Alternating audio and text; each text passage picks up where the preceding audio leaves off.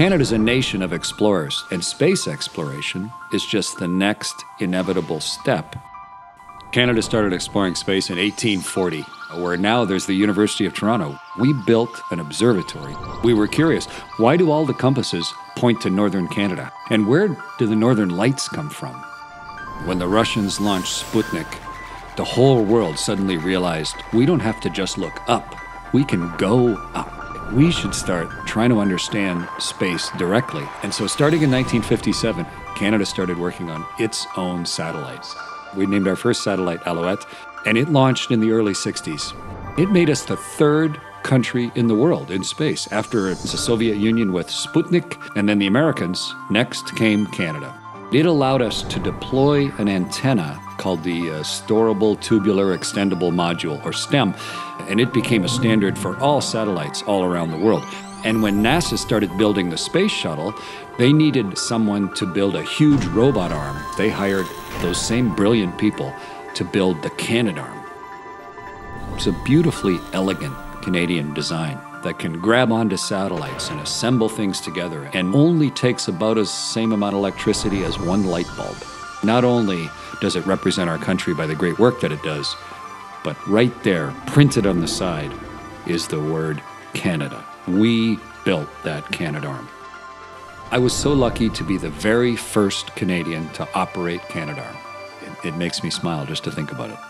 Canadarm flew in space a hundred times it released the Hubble telescope and then grabbed it again when we fixed it and improved it. It helped build the Russian space station Mir. And we are so respected for building space robots that when it came time to build the International Space Station and it needed a huge permanent space robot, Canada was trusted to build the space station robot arm, Canadarm 2. It's bigger, it's more powerful, it has more joints, it can walk all around the outside of the space station like an enormous centipede. It becomes so important and iconic for Canada that we represent that arm on our $5 bill. And so not only did Canada build the huge Canadarm for the space shuttle and Canadarm 2 for the space station, but we built Dextre, a, a, dexterous manipulator that's up on the space station permanently. And it has helped us build the space station, maintain the space station, but also do research. Right across Canada, it's the brightest star in the sky. After the sun and then the moon, the next brightest thing up there is the International Space Station. Our huge robot arms, piece by piece, assembled this enormous human outpost that's orbiting our world.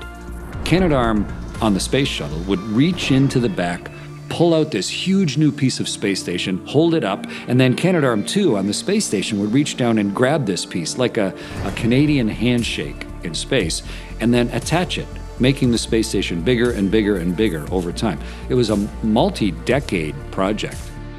Julie Payette was our first Canadian on the International Space Station when she was helping to build it right around the turn of the century. And since then, Canadians have visited the space station and lived on the space station, and in my case, even commanded the International Space Station. Canadian astronauts have been flying in space since almost the very beginning. Bob Thirsk and Bjarni Tryggvason and Ken Money and Roberta Bondar, and then the very first Canadian who flew in space, Marc Garneau. And with each step forward in, in invention and technology, Canada becomes more capable of exploring the rest of the universe. We are the world's leading robot builder, and it came purely from the legacy of what we'd already put into space, from our very first satellite right through to Canada building space stations. I'm Chris Hadfield, explorer of space, explorer of ideas. Exploration is Canada.